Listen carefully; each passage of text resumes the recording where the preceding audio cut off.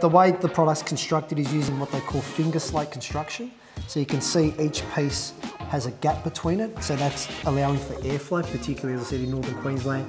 You've got a lot of expansion and contraction with the different climate and being up near the coast.